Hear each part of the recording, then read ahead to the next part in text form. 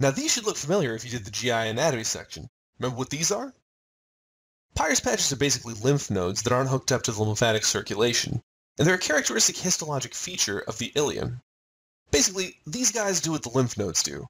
Recognize bad guys and mount a defense against them.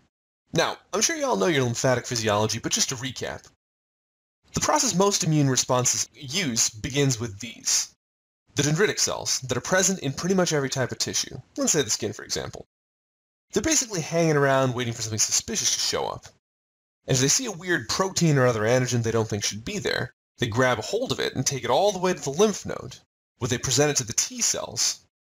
At this point, the T cells initiate a crazy cascade of growth, differentiation, and specialization of white blood cells that, among other things, causes the proliferation of B cells in germinal centers and the synthesis of antibodies that, when released into the bloodstream, help flag or even directly inactivate the target pathogen. But that's all immunology stuff that's discussed in a lot more detail there. It's a couple reasons why the Peyer's patches are special.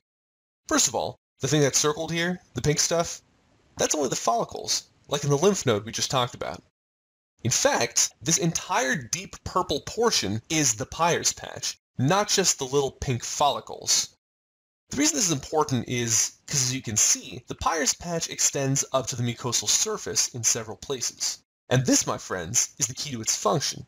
See, instead of dendritic cells, the antigen-presenting cells that sit on the surface of the intestinal mucosa are called M cells.